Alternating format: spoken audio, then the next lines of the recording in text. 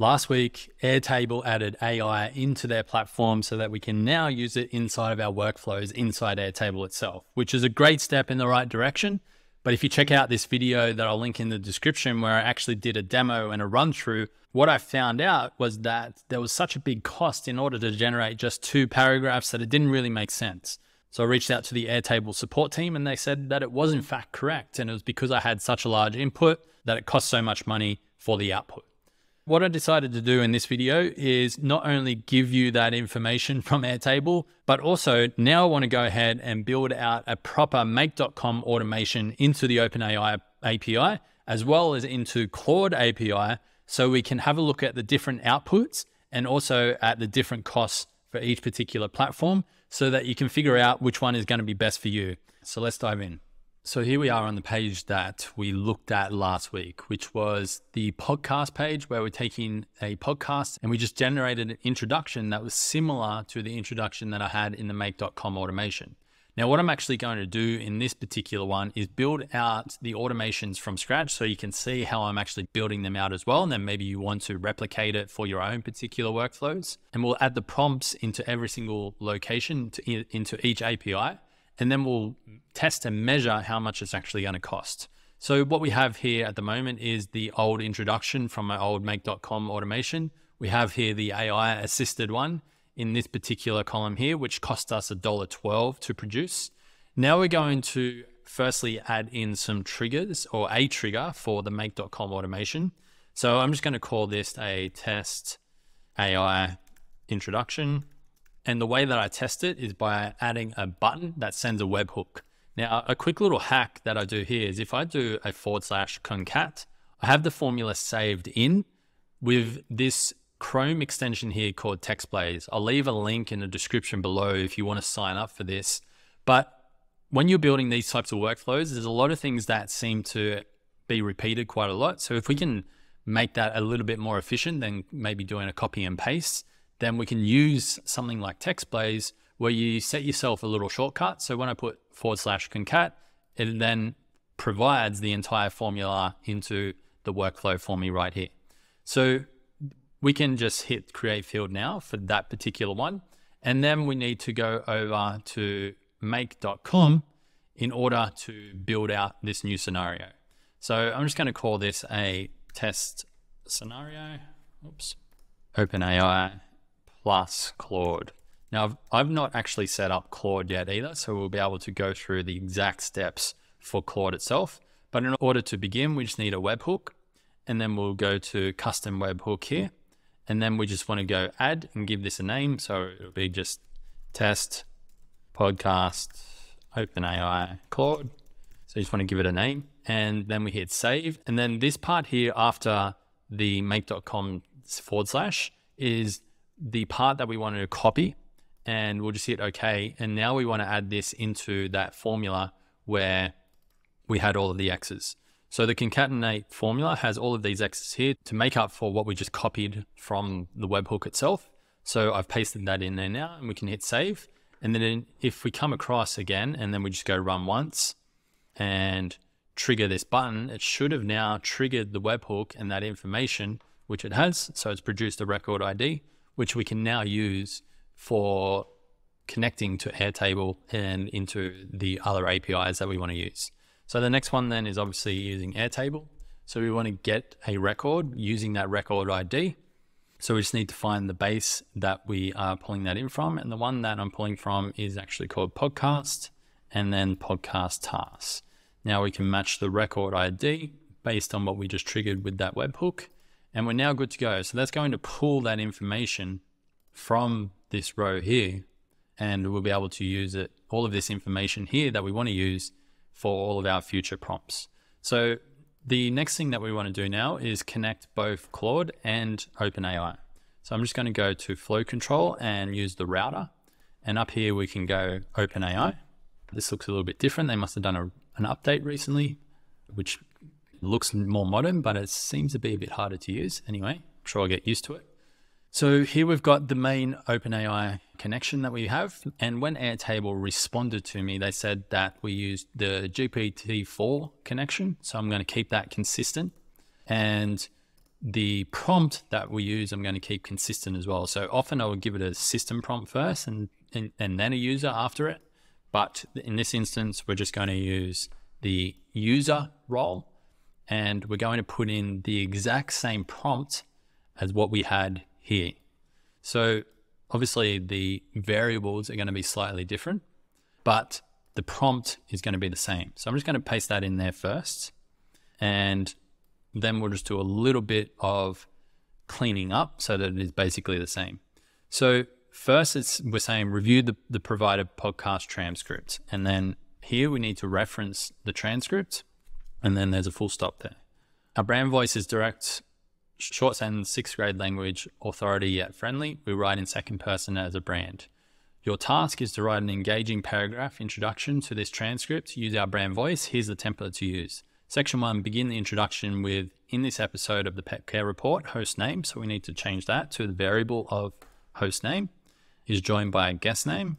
So we'll change that to guest name and continue the first sentence. There is no need to provide, blah, blah, blah. So that is basically all we need to do for that particular section. What I do like about this particular workflow is that we can adjust the temperature in here. In here, we don't have that option. And it's the temperature that helps the AI follow the directions so much easier than if you weren't if you didn't have control of it. That's why I'm not a big fan of the ChatGPT platform these days, is because you can't you have no control over the temperature. So the temperature here that I am going to use is 0.4. I found this works best for myself. Typically anything 0.3 to 0.5, where it's a little bit creative, but mostly it sticks to the exact way that I want it written, especially when I'm using a template like this, when I'm saying there's section one, two, three, and four, and so forth. So that is there now. We can just change this to podcast introduction. Now we need a place for it to go when it comes back into Airtable itself. So we'll just go insert and we'll just go open AI test output. And we'll just make this a long text section and we'll go create field. And since we're here, we'll do the one for Claude as well. So we'll just call it Claude AI test output and long text here as well. So now we need to send the output from here back into Airtable so it comes back into somewhere that we can read it. So we now just open up the Airtable module again, go update a record, and we'll connect in the same account that we used at the start, which is which I'm not sure why it's asking us to do this again, but let's just do this again. Choose the base that we need, I like to turn on smart links so that if we change the table name or the, the column names, it shouldn't matter too much. In our podcast tasks, make sure we map the same record ID. And then we want to put in the OpenAI test output field. We want to go to the OpenAI module, go to choices, go to message, and then go to content and click OK. So that will now send the output from OpenAI back into Airtable. The next thing now that we want to do is go to Claude. So I've not set this one up yet. So we're just going to figure this one out together. First, we need to create the connection and I have it on another screen, but I guess all we need is the API key. So in order to sign up for Anthropic API or Claude API, you'll just go to anthropic.com slash API, click get started, and then you'll come to a page like this. Next, you'll just go get your API key and then paste it in. All you needed to do was give it a name and then it creates a key for you. And now we can choose the model. So the model that we want to choose right now is Opus model and max tokens to generate, which would be the same as ChatGPT 4, which is around about 8,200, I believe. So let's just add the same in there. And that's a rough estimate. I don't know exactly how many, so don't hold me to that, but we're just going to add that one in. So next we want to then create the message or the prompt, which is a user prompt. And then this is the first time I'm looking at this, but the way that I can see it is mapped out at the moment. So your user prompt is the one that is going to give you the output. That's like the prompt, the thing that you're asking for. The assistant is to train it on certain data. So if you want to train it on a specific outcome that you're looking for, then you would use the assistant. In this case, we're trying to keep everything equal where we're not training any models and with any of our data. We're just simply testing for the outputs. So next we just want to select then the text for that particular prompt. And then here is where we'll put in the, the same text that we used in this particular reference here. So hopefully if I can just copy that, it's going to map everything across exactly the same. And it does. So that's good. There's nothing else that we really need to change there. I am going to have a look at advanced settings to see what else is available. So a system prompt is a way of providing, okay, so they've got the system prompt here in the different sections. So normally OpenAI will have it in this section here, but you can actually provide a system prompt, which is providing more context and instructions to the system itself. User ID, I'd have to read up on that. I don't know exactly what that is. And then we've got temperature here as well. So let's keep all things even for our make.com automations and we'll put our temperature to 0.4 as well. So next we need to map that to Airtable and a quick little hack that I figured out which makes things so much quicker when you're mapping things back into Airtable is if you just right click on an old module that's already been mapped and you just go clone, you can then drag that down and then simply instead of having to find the base, find the table, add the record ID, all we need to do now is delete that old version out and add the new version in. So imagine this is going to be in the same place, which is content and then text, I would think. I don't think it would be anywhere else. So that should be correct. And we'll hit OK. Make.com doesn't save on its own. So you always want to hit save as you're going. Now, one thing that we want to look at before we do any testing here is the amount of usage that we've had today so we can figure out how much we're going to actually be spending for each of these. So let me bring up the OpenAI API one first. So you can see the month is just reset for us and we've not used it a lot this week. So we've spent 42 cents and the date is the 4th of April and there's been nothing spent on any of these days on the 4th. They were all on the 3rd last time.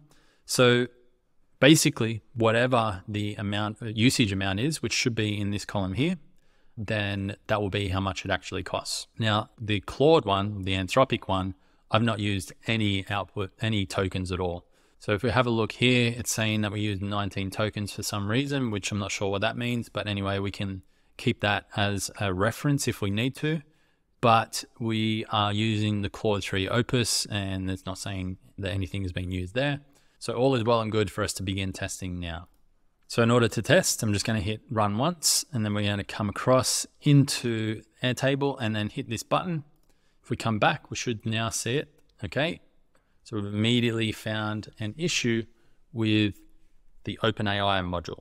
And basically what this is saying is that the transcript is too long to fit into the GPT-4 model. So we'll have to use GPT-4 Turbo in this instance because it's got a longer context window which means it's also going to be a little bit more expensive. So potentially that could have happened in Airtable as well, which is why that was a little bit more expensive. We can also see here that the message requires 14,791 tokens, which means we have to now update Claude as well. I'm just going to put 15,000 tokens here. So let's hit save and we'll try that again. So we'll hit run, run once and then we'll go button. Hopefully now it's going to run. So you can see it's running up here. Right, so we've got a error on Claude. Basically, it's saying that there's not enough context window for Claude. All right, so looking at it again, it's saying the output tokens for Claude is 4096. So I just got a little bit mixed up there with basically, we can still put more in. So the input tokens is up to 200,000, but the max tokens for output is 4096. So hopefully now that is going to run. We'll just hit save and that's still disabled. So we'll go run once again. Before I do that, I'm actually just going to check to see if that include it, if that used up any of the usage. Make sure that we pricing this correctly. Hopefully there's not too much of a delay, but that should be correct. All right, let's try this one now. And looks like it's actually running this time. So we did fix that problem there. So it's running through the best version or the best model that Anthropic have, and that's been sent back to Airtable. So let's have a look at how each of these compare. So this is the OpenAI version, and it seems to be a little bit longer than the other one. I'm not going to read all of this out. You can pause it and read each one and see which ones you like if you wish. If you've been watching my channel at all for a period of time, you will know how much I hate these types of sentences, these juxtaposing type of contrasting sentences where it's where it says things like this conversation is not just a discussion, it's a deep dive. I just really hate with a passion how often it uses it. Sure, use those occasionally, but almost every single output ChatGPT seems to do that. So what that is one big thing I've noticed here is that Claude just seems to be much more to the point, uh, much more direct, much more human-like writing. So it's possible that I'll move across all of our OpenAI outputs into Claude because the output here just seems to be so much better than OpenAI itself. Cool. So the next thing that we need to look at is how much did each of those actually cost? Let's dive into the OpenAI platform first. Remember, we use GPT-4 Turbo. So we'll be able to refresh this and we can see here that has used 15 cents for that output. So remember Airtable AI for this exact same task have charged us $1.12, whereas using GPT-4 Turbo, which is um, currently the most expensive model, the actual real cost is 15 cents. If you're using this at scale, then it makes so much more sense to learn a little bit of make.com and ensure you're using the API and you'll save, what's that, 80% of the costs. Now let's have a look at Anthropic Claude and we'll see how much this one used. So if we go down to here, Claude 3 Opus tier, and it used 15,000 tokens, 183 output tokens. Does it give us how much that actually costs?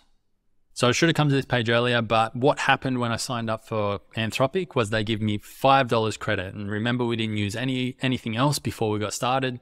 So that means we've actually used 25 cents. So it is a little bit more expensive in Claude, but I would say the output is way better. And for the extra 10 cents, I'd be willing to pay that just to make sure that we're getting a better output.